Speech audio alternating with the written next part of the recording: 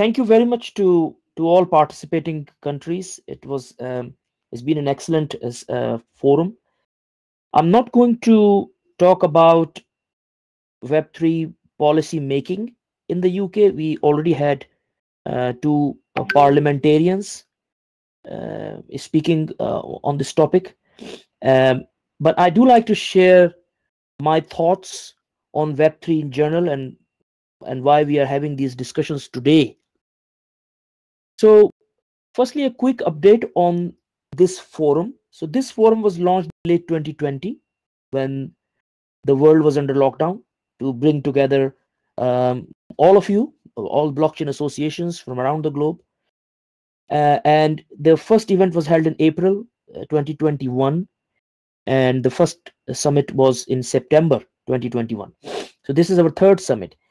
Um, this technology, as as other speakers have also alluded to, this is very global. So it is important that we very carefully examine what's happening in other uh, jurisdictions so we can learn from them what i always call nations collective wisdom there are 51 member uh, nations of this forum and we have 194 countries in the world. So i would like to invite other countries who are not yet part of this to join this forum and uh, and learn from each other. So in web3 we are living at the dawn of a new era in public services as uh, as lord holmes and and, uh, and natalie uh, mp also highlighted. Creating a user centered web3 economy is demanding no doubt but uh, a highly rewarding opportunity for governments and the public sector. And i believe nations will gain considerable rewards for many decades to come if uh, web3 is effectively implemented. For citizens and society to benefit from Web3, uh, all key enablers in the quadruple helix, which is government in terms of policy and regulation, academia uh, in terms of research and development, and think tank and knowledge networks, enterprises, the startups, the tech creators, and then the public, uh, the end users. And so all of these four um, uh, groups need to work together if web3 were to be successfully implemented now web3 at its core is uh, open the ethos are of decentralization transparency immutability auditability permissionless systems borderless systems. And web3 gives us fewer bureaucratic controls. There is lesser risk of corruption. Uh, there is more freedom for innovation. There is more autonomy. But at the same time the organizations that are involved uh, in um, in managing web3 are very much uh, centralized and we do see time and again bad bad actors emerge such as uh, at some crypto exchanges for example and that's not a failure of the the web3 or, or blockchain itself but those who provide those services. So the real challenge here is gradual implementation of decentralization, uh, what I call maximum possible decentralization and minimum viable centralization. So it, it is going to be a gradual move. Um, and then the next step is that you make laws and you govern the centralized uh, actors. So you're not governing the actual technology itself um, and making laws for the actual technology itself. You're making laws for the applications of that technology. So you're making laws for apps and the and the providers. So regulation, I believe, is important. It's inevitable, but I'm I must say that we we need, we need fewer red tapes. We need more red carpets to allow us to experiment and explore and really to avoid making it too restrictive and difficult for innovators to put forward new ideas and new services and new products. Also, an important reminder, as I always said, I've posted about that on LinkedIn as well recently, that decentralization does not mean that there is a lack of accountability. It means that the accountability now lies on the shoulders of every individual in the ecosystem. And this great privilege, this great power of self sovereignty that we all talk about, it comes at a price of great responsibility. Uh, so the next step towards building Web3 ecosystems is then laying the infrastructure foundations. We what we then need is open, uh, user-friendly, equitable, interoperable, and ideally uh, transnationally agreed standards and frameworks. And forums such as this one uh, is facilitating such discussions. Um, so since all of us are here in the in the metaverse today. Let's take metaverse as an example. Uh, we are working very closely with other metaverse standards associations. And there are sets of standards such as um, uh, governance standards dispute resolution standards um, uh, avatar standards uh, education and training standards and 3d assets standards technical interoperability standards standards for digital assets in the metaverse, NFTs, payments standards, IP standards, and so on. So these are the sets of standards that we need to devise to build safe, interoperable, sustainable, uh, decentralized uh, metaverse uh, blockchain based applications. Um, another challenge is, uh, and, and, and also a massive opportunity at the same time, is how do we translate science into practice? And we we have been advocating about evidence-based blockchain ever since its inception of the association and, and in fact it's it's our motto advocating evidence-based blockchain. And what it is is basically uh, in a nutshell uh, access to uh, highest quality evidence that is available.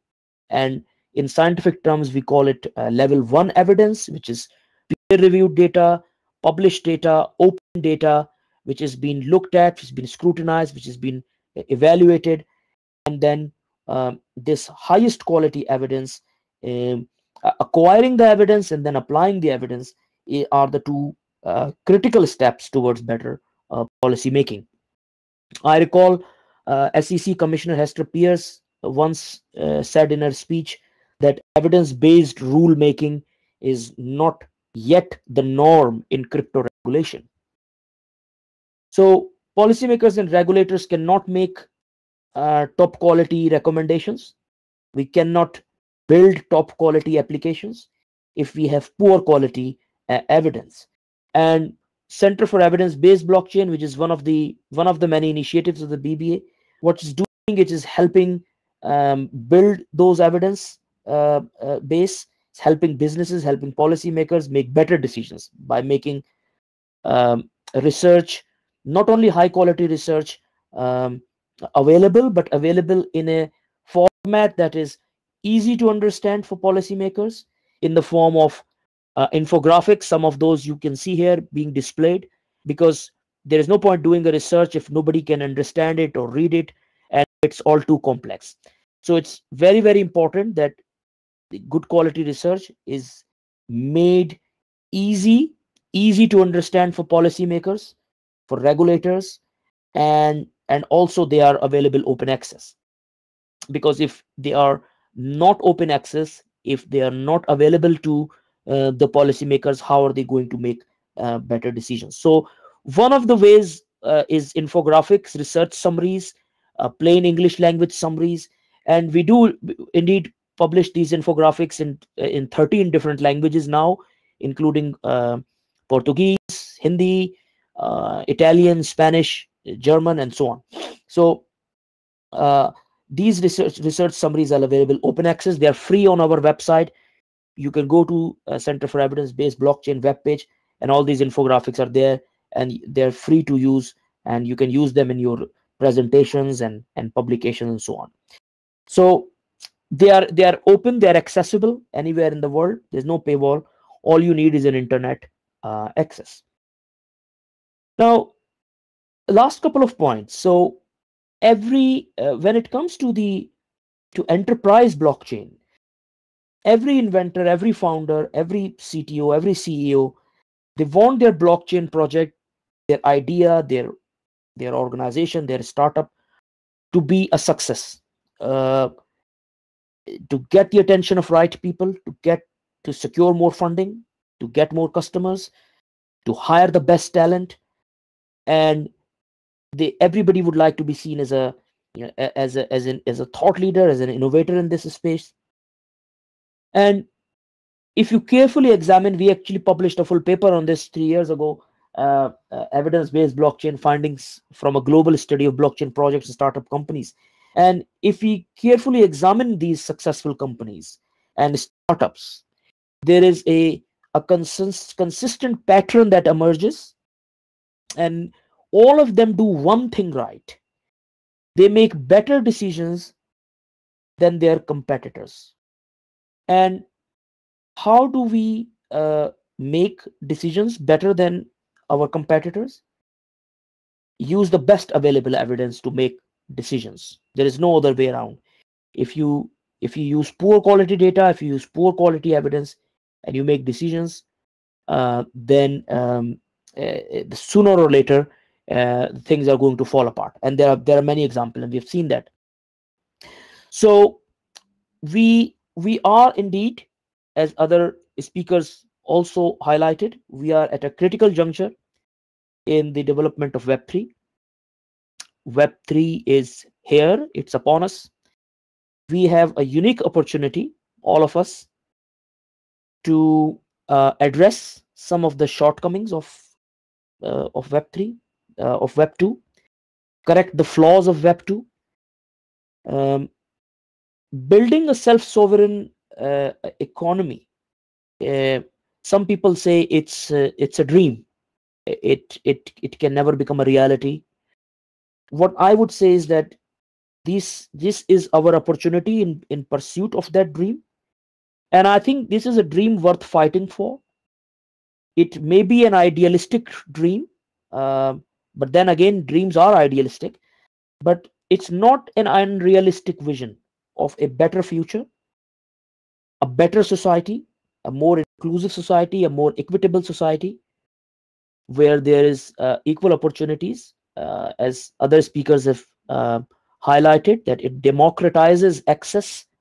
It democratizes access to information. Web3 democratizes uh, ownership, your your um, your data, uh, your communication, your influence. It democratizes those things, and these things are important. And we didn't have those in the in the web 2 era so um, so i think this is a dream worth fighting for. It's it's worth um, um, pursuing this. And i think we have made some some good progress. There is still a lot of work to be done. We are getting there. Um, so finally i'm i'm very pleased to see that a new uh, all party parliamentary group dedicated to blockchain technologies has been launched. Um, BBA is the secretariat of the group, and it is led by members of UK Parliament and House of Lords. All details of the various exploratory groups and working domains that the group will be working on is available on the uh, BBA website. And if you would like to uh, play your part, uh, please do get in touch. Thank you for listening to me. And uh, thank you again for uh, joining this summit.